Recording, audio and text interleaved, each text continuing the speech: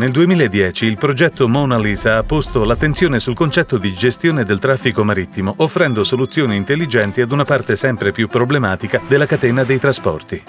Grazie alla sua rete di scambio di informazioni, l'industria del trasporto marittimo può finalmente diventare non solo più sicura, ma anche più efficiente, proficua e rispettosa dell'ambiente.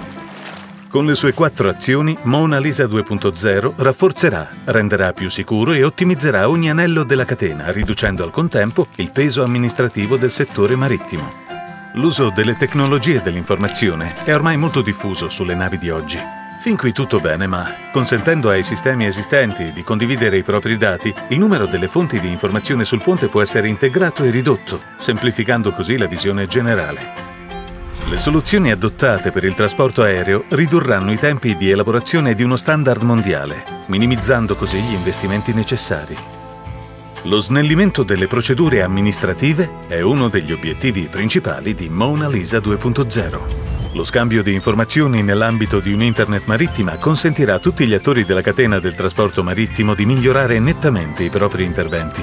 I porti riceveranno dati aggiornati su tutte le navi e potranno pianificare di conseguenza.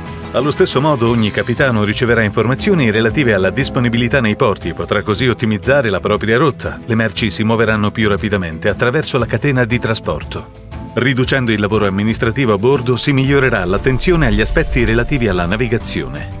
La gestione del traffico marittimo è un concetto nuovo per il mare e trae ispirazione dal programma CESAR del settore aereo. È prevista infatti una fase di definizione e di studio condotta in collaborazione con esperti del programma CESAR e l'elaborazione di un piano direttivo per lo sviluppo e l'implementazione dell'STM. Partendo dai principi e dall'esperienza della gestione del traffico aereo, li adotteremo, ci adegueremo ad essi e ne faremo tesoro, riducendo al minimo l'onere dell'elaborazione di rapporti per i capitani, grazie all'impiego delle nuove ICT che incrementeranno la sicurezza della navigazione.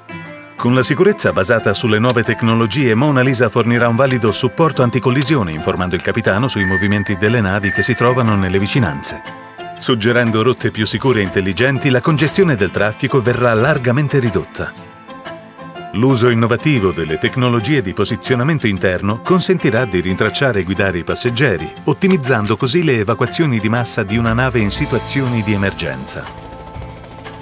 Verranno elaborate procedure di interoperabilità fra terra e mare per una gestione più sicura aiutando le navi a risparmiare su carburante e costi, percorrendo rotte più brevi e adattando la propria velocità alla disponibilità dei servizi dei porti, assisteremo a un netto miglioramento delle prestazioni ambientali.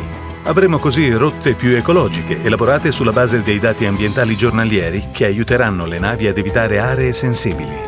Verranno elaborati e testati programmi di formazione unici che affronteranno i vari aspetti della sicurezza marittima, quali la valutazione dei rischi a tutti i livelli, nave, porto e costa aggiornando così le qualifiche del personale coinvolto in ricerca e soccorso, evacuazione e piani di emergenza dei porti.